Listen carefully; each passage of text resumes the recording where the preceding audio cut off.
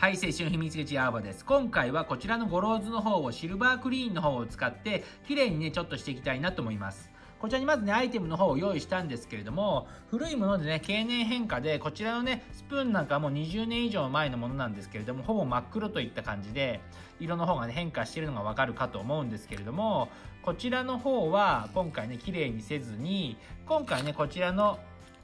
銀縄ですね。銀縄のフェザーの方とロングチェーンの方をね、ちょっとね、ピカピカにちょっとシルバークリーンの方で仕上げていこうかなと思います。やはりね、ずっと使ってきたものと、そうでないものとね、色の変化の具合が違っていて、こちらはもうね、20年以上の前のものだったり、チェーン自体もね、かなりね、長く使っているんですけれども、ちょっとね、画像で分かりにくいんですけれども、黒ずみ方が違うんですよね。こちらは本当に使用してきた感じの黒ずみと、まあ、なかなかね、こういったのはね、年月経たないと出てこないんですけれども、こちらのロングチェーンと、まあ、こちらのね、銀縄に関しては、まだ買って数年、1年ちょっととか、1、2年、2、3年ですかね、このチェーンの方も含めると、そんな感じであんまり使ってないアイテムで、ただね、持っていただけでかなりね、こう変化の方がしてきたといった状態でつけていてね部分的に黒くなっているというような色の変化は見られておらずどちらかというと全体的にね黒ずんできたといった感じでちょっとね動画撮る前にこっちのシルバー磨きちょっと磨いちゃったんですよね。このシルバー磨きちょっともう汚いシルバー磨きで申し訳ないんですけれども無印良品の中でもね3枚でこれも結構前に買ったあのシルバー磨きなのでちょっとね値段の方変わってるかもしれないんですけれどもこういったねシルバー磨きの方である程度ねこちらの方綺麗にしてしまいました。その状態です。その前はねもうちょっと全体的に真っ黒だったんですけれどもまあこういったね、まあ、銀爪とか、まあ、これも結構古いんですけれどもこんな感じに近い色にねちょっとね変色していたんですけれども若干ねちょっとシルバー磨きで磨いてしまったのでまあ綺麗になりつつあるんですけれども今回ねこちらのシルバークリーンですね。シルバークリーンの方を使って、さらにね、ちょっとね、綺麗にピカピカにしていきたいなと思っています。多分ね、こちらフェザーリングがね、割と最近購入したものなんですけれども、これに近い色合いになってくるんじゃないかなと思うので、今回ね、ちょっと動画の方で撮ってみて、まあ皆さんのね、参考になればと思うんですけれども、まあ結構磨かれながらね、使われる方と、やはりね、磨かずにこうかなりねこの色のね経年変化をね楽しまれる方といるんですけれども自分もね数字はほとんどもう磨いたことはありません。本当にたまにねこうシルバー磨きで磨く程度といった感じでこちらのねシルバークリーンの方は他のねアクセサリーで使ったことはあるんですけれどもゴローズで使うのは初めてといった感じでゴローズ自体はねやはりねこの経年変化のね色の変色なんかも楽しむアクセサリーだと思っているんでほとんど使用したことがないんですけれども今回ねロングチェーンとこちらのね銀縄ターコイズの方はちょっとねピカピカの仕様でちょっとつけていくのもいいのかなといった感じで今回ね綺麗にしていきたいと思います。それではやっていきましょう。それではねちょっとねつけていこうと思います結構ねこの溶剤がね強いかもしれないので一応ねこうやってゴム手袋なんかをしながらやるのもいいんじゃないかなと。それではね投入してみましょう。結構どうでしょうね。もう結構磨いちゃったんで一回。これ多分すぐにでも綺麗になるのかな。あやっぱ違いますねちょっと動画でわかるかな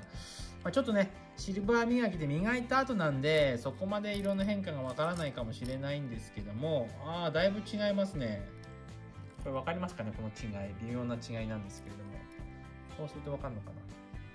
分かりやすいですね、ちょっとね。で、これでちょっとこのフックの方も行ってみましょう。よいしょ。効果てきめんといった感じですね。の方はなかなか分かりにくいかな。あ、だいぶ違いますね。わかりますかねこれね。こういった感じで、かなり、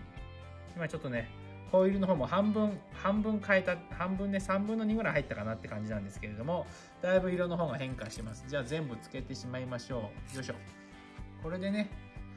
ちょっと、振った方がいいのかな振ら、振らない方がいいのかなちょっと簡単に、こう、シェイキングしながら、色の方で綺麗に。いいかな。だいぶ綺麗になったんじゃないかなと思うんだけど。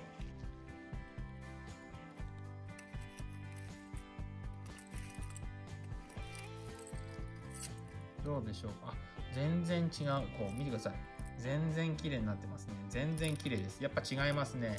やっぱねシルバー磨きで磨くのに比べてチェーンなんかは特にねこう細かいところまで磨けると言いますかこの液の方がね浸透してくれるのでかなりねその面ではシルバー磨きよりも全然違うんじゃないかなと思います。それではねちょっとフェザーの方もフェザーはちょっと半分ずつぐらいしか入んないんですよ実際ね。ちょっと半分漬けの状態でちょっと放置してみましょうか。半分漬け変なムラになっちゃうかな。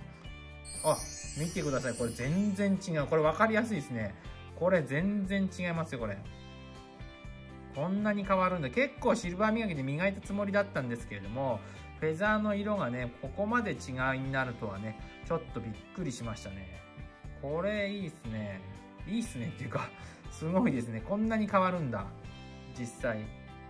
はいこんな感じでシルバークリーンのもね綺麗に洗い流してみました。かなり色合い変わりましたね。こちらの見てください。この銀縄ターコイズもピッカピカですよね。もう今日買ってきたみたいな、やはりね、そんなにね、着用していたものではないので、ここまで綺麗になったのかもしれませんし、なんか本当にね、新品同様みたいな感じなぐらい色の方が変わりましたよね。まあ、こういったね、古いものに関してはね、まあ、そこまで綺麗になるのかちょっとわからないんですし、まあ、せっかくね、こういったものはこういった色合いになっているので、このままをとどめながら自分をね、使っていきたいと思うんですけれども、まあ、メリハリというわけではないんですけれども、気分やね、服装によってはこういったね、ピカピカな状態っていうのもいいのかなと。なのでね、こちらのロングチェーンの方も結構ね、ピカピカになりましたね。かなり印象違いますよね。チェーンの方なんかは特にね、こう中にもね、黒い部分がかなりこう、入ってくるので、そういった面では、こう、印象もかなり変わりますよね。こう、つけている印象というものも。なので、やはりね、つけるシーンに応じて磨いて使うのもね、ありなんじゃないかなと特にね、ゴローズさんの方でも磨くなということもないですし、まあ時々自分もね、いろんなものをつけていくんですけれども、時々ちょっと磨いてあげてね、なんて言われることもあるので、まあ、もちろんね、こうシルバークリームまでつけてということではないとは思うんですけれども、まあ定期的に簡単なメンテナンス程度に吹かれることはね、必要なのかなと思うんですけれども、それ以上にね、ここまで磨くというものも、まあお好みだとは思うんですけれども、今回ね、初めて自分ゴローズの方、ここまでね、シルバー磨きのね、シルバークリーンの方で綺麗にしてみたんですけれども、またこういったものね、東急ハンズとか、まあ、ネットでもね、ググればね、購入できるかと思うので、気軽にね、こういった感じで色の方をね、こう、綺麗に仕上げることもできるかと思うので、今回どの程度綺麗になるのかというところと、またイメージですよね。かなりイメージの方が変わってきます。やはりね、こちらね、ピカピカだと、まあ、女子受けはするのかなと。清潔感もありますし、まあ、ゴローズのね、感じが映えると言いますか、かなり目に飛び込んでくる感はあるんですけれども、やっぱりね、こういった色の経年変化が楽しめるのもゴローズの魅力なので、こういったね、色合いの変化みたいなものも当然かっこいいなと思いますし、その気分でね、本当に使い分けていくことも必要なのかなと思います。また並びなんか見ていてもね、やはりね、常にね、綺麗にされてる方もいますよね。多分綺麗にメンテナンスされて、持っているアイテムもね、相当コアなものまで所有しているんですけれども、いつでもね、綺麗な仕様で使われている方もいれば、やはりね、こういった感じで真っ黒の状態にまでね、そう育て上げると言いますか、まあ育てる楽しみみたいなところもね、ゴローズにはあるんですけれども、こういったシルバークリーンで綺麗にすることもね、こう楽しみの一つになるのかなと。またね、新しくアイテムを購入した際に、例えばチェーンは古いチェーンを持っていて真っ黒なんだけれども、トップをね、新しいトップを買ったとかね、そういう状況でやはりあんまり色がね、アンバランスだと、ちょっとね、不自然にね、違和感を感じてしまうので、そういったところで、まあ、チェーンの方をね、このシルバークリーンでピカピカにして、新しく購入したトップと合わせていくというものもね、こう、統一感を持ってね、色の変化を楽しむというところでは、そういった意味でね、シルバークリーンを使っていくのもいいのかなと。